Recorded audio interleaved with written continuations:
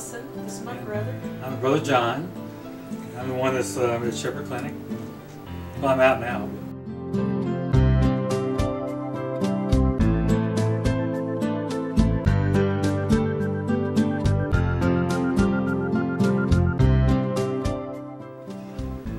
Well, about 100 days ago, my brother was uh, diagnosed with Guillain-Barré, which is a temporary quadrant paralysis, and um, it was an instantaneous paralysis.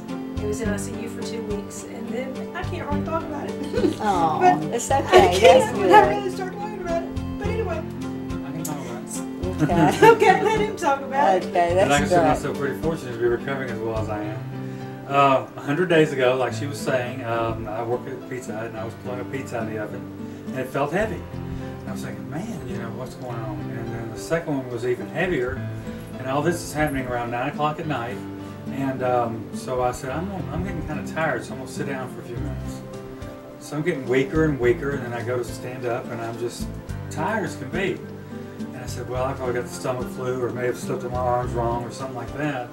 So I go home and go, you know, I go lay down, and I sleep overnight, and then the next day, I said, well, you know, I'm still tired. I'm gonna take the day off, and I slept most of the day. And that night, I uh, started getting even weaker. And so I called my store and ordered pizza, so I didn't like driving or anything. Well, about 2 in the morning, to make a long story short, I was calling 911. And I'd lost almost all movement in my body over like 27 hours. And by that night, I was in, in the emergency room. I went to the hospital and I told John, I said, I got some good news. I got some good news, I got some very good news, and I got some really good news. And he goes, he just looks at me, you know, and I said, okay, I got some good news. I said, what do you want to hear first? And he said, all right, the good news. And I said, the good news is I found you sitting by a wheelchair. And he just looked at me and he's like, golly. I'd already given up. He I goes, he goes, I don't want to spend it. There's just no way. I don't have the money, and we'll just let you, you know, have a regular chair. And I don't have to go anywhere. You can just roll me whenever you feel like it. You know, and that's what we plan on doing. Well, I didn't, but I'm Yeah. planning on finding the chair.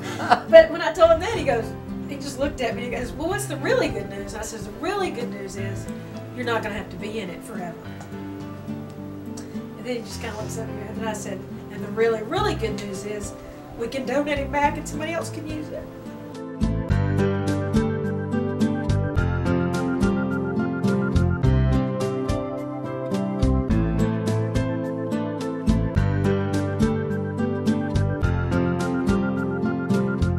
Average person does not have that kind of money.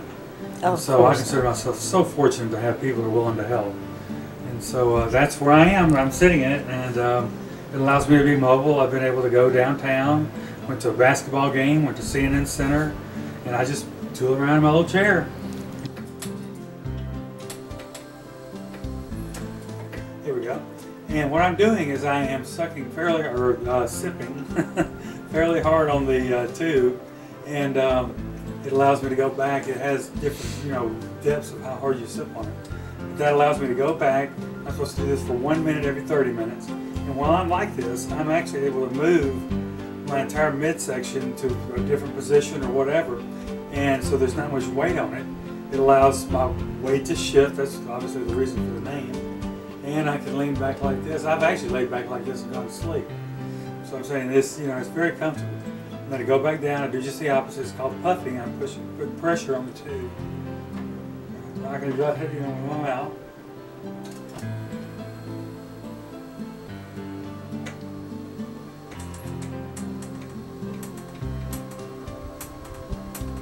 And in my headrest, I have a button that I can just bump.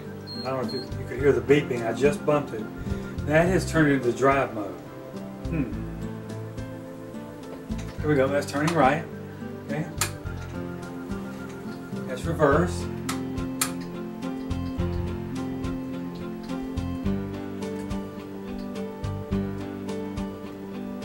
Left turn. Right turn again out. I'm getting used to the carpet. You know, if you do it a few minutes, you know, you, you're able to use it. And I can drive forward over to you or whatever. So.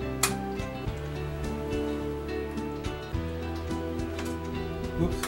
Well, anyway, that's how it works. So again, thank you guys. I am so happy.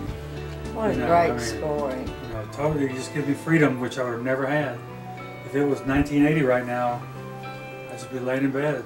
So, I mean, we're very fortunate to live when and where we do and have people like you guys that can help us. So, I'm like Carolyn, I can't wait to donate it, but I love it while I got it. So, Thank you. Thank you so again. much. Appreciate it. Thanks.